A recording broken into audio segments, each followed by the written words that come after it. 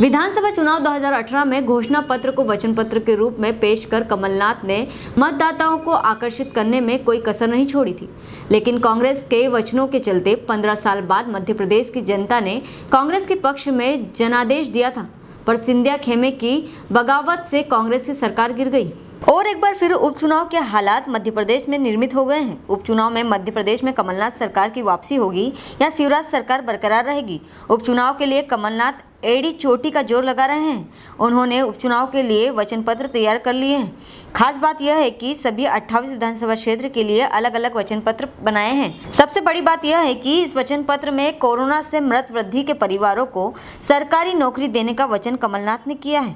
भोपाल से ताहिर खान की रिपोर्ट। क्या डिफरेंस है और प्रादेशिक और स्थानीय दोनों मुद्दे शामिल किए वर्ष 2018 में जब प्रदेश में विधानसभा के चुनाव हुए थे तो हमने अपने घोषणा पत्र को बनाया था और उसे नाम वचन पत्र दिया था। वचन पत्र देने के पीछे मकसद था कि हम हमारे घोषणा पत्र के जो पुराने अनुभव हैं, जो भाजपा की पंद्रह वर्ष के सरकार में इक्कीस हज़ार घोषणाएँ अधूरी हैं घोषणा पत्र के वादे अधूरे, हम उसे वचन पत्र के रूप में ले सकें और वचन पत्र को प्राण जाए पर वचन न जाए के रूप में निभा सकें एक एक वचन को पूरा कर सकें। और हमने देखा भी, पंद्रह महीने की सरकार में हमने हमारे कई महत्वपूर्ण वचनों को पूरा किया। और यदि हमारी सरकार रहती तो सारे वचन हम पूरे करते।